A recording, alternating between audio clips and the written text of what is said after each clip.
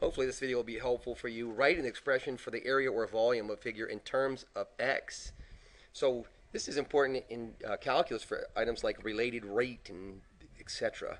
So let's just go through this really quick. So we have this equilateral triangle here, and we have one side of length x over 2.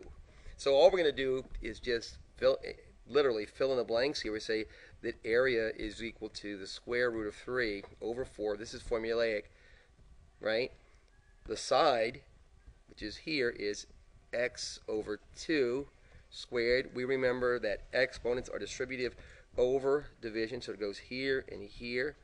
And what we end up with is this. So we have a is equal to the square root of 3, right? x squared. 2 squared is 4. 4 times 4 is 16.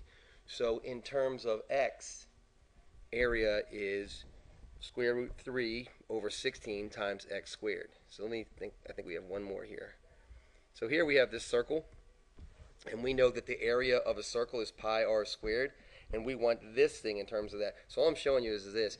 A lot of times on these related rates problems, you're going to see that they're going to give you stuff, and you're going to have to have some kind of idea of what the formulas are for these things.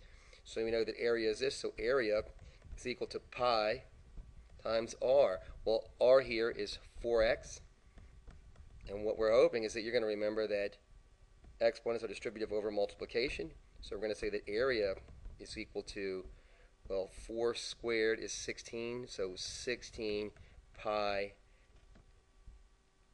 x squared.